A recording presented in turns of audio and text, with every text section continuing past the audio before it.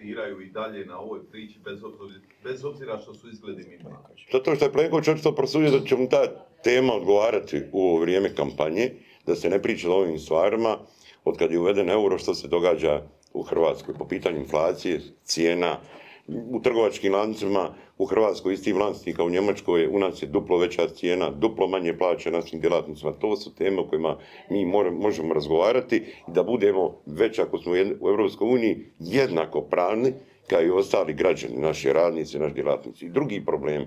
Tako da e, on je od, jednostavno to je tema za odvraćanje pozornosti, ali je svjestan i zna da mu to neće proći uvlačenje Hrvatske države, Hrvatske vojske, uvlačenje u ovaj sukob u Ukrajini između Ukrajine i Rusije. Jer to Hrvatskoj ne treba da ima metu na svome čelu.